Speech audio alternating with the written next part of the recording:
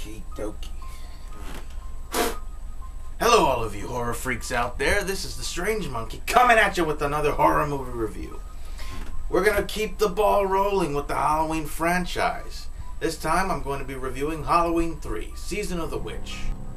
Halloween 3 Season of the Witch is a 1982 horror film directed by Tommy Lee Wallace and it stars Tom Atkins, Stacey Nelkin, and Dan O'Herlihy. An apparent murder suicide in a hospital emergency room leads to an investigation by the on call doctor Dan Challis, which reveals a plot by an insane toy maker to kill as many people as possible during Halloween through an ancient Celtic ritual involving a stolen boulder from Stonehenge and the Silver Shamrock Halloween masks.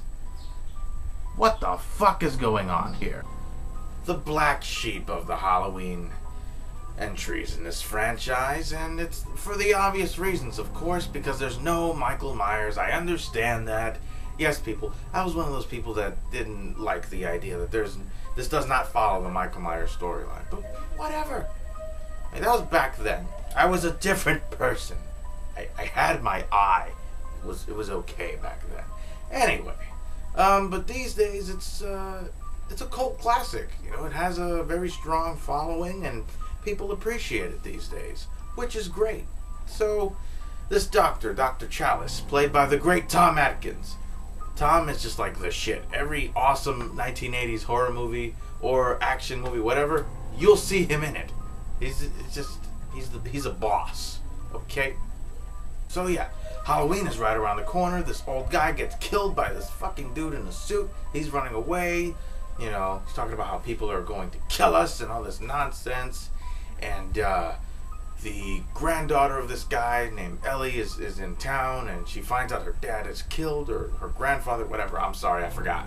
Anyway, so Dr. Challis says, fuck this. I'm going to investigate. They go to the town, and I gotta say, the setting for this town is just beautiful. It's a nice, peaceful looking town, but what's the problem here? It's quiet. I smell something. This is sketchy as fuck. Something's not right here. And this is not your typical slasher film, as it just, you know, it's the complete opposite of the first Halloween and the second. It's not a slasher film, it's more of a mystery, thriller, uh, witchcraft type of story, you know, going on in this film. And uh, I love the tagline, you know, the, the night he came home, uh, more of the night he came home, and in this one, the night no one comes home. That's, that's awesome. It's like, yeah Everyone's gonna die. That's basically what they're saying to you. All of the townspeople appear to be nervous whenever Colonel Cochran arrives. He is the head of Silver Shamrock. All uh, the famous masks that are in the area. They are one of the most popular Halloween masks that are sold very well, and everybody likes them, and blah blah blah. And uh, yeah, but what's the problem? These motherfuckers are evil. Yes, Lots of weird, sketchy shit starts going on, and if you talk shit about them, they will kill you. And as Dr. Challis starts investigating, he gets closer and closer, and he reveals that these motherfuckers are trying to kill all of the kids in America. And if you put the mask on on that night of Halloween, and you hear the awesome Silver Shamrock theme, have a happy Halloween, Halloween, Halloween, you're gonna fucking die. There's a scene where some kid they're they're they're testing this mask out. You know, one of the guys who bought the mask, they're testing it in a room. I don't know why, and the kid's head just starts dissolving and it's all fucked up and it's it's insane. So yeah, like I said before, this plot does not follow Halloween one and two at all. John Carpenter uh, does not direct this film. He works on the music, if I'm not mistaken. He's producer. I could be wrong with uh, but yeah, the music, the soundtrack in this film, just beautiful. Perfect as always. John Carpenter is just the best. So yeah, he did not direct this film. Instead, Tommy Lee Wallace directed this film. But still, this film feels like a John Carpenter film. It, you get that vibe, you know? So they decided to just do something else instead of Halloween 1 and 2 because he felt that Michael's story was over. There was no need to continue that, and they wanted to do a horror anthology franchise. So every entry would be a new Halloween film and it would be a different story with a Halloween theme attached to it. Unfortunately, Halloween 3 did not do that well in theaters, and they went right back to Michael Myers, and the rest is history.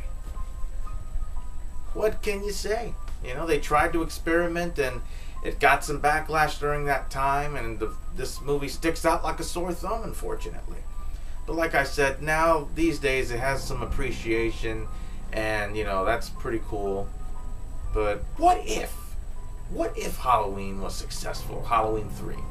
I should talk about that in another video, and I and I'm going to do that. You know, I have my thoughts, I have theories, I have ideas.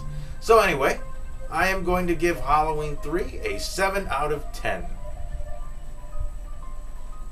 So yeah, that's it for uh, this entry in the Halloween franchise. I'm gonna be reviewing the sequels because the new one's coming out, baby. I can't wait for that one. And if it sucks, oh my god, I will be so disappointed. But anyway, I've been the Strange Monkey, and oh Jesus, oh, I gotta be careful.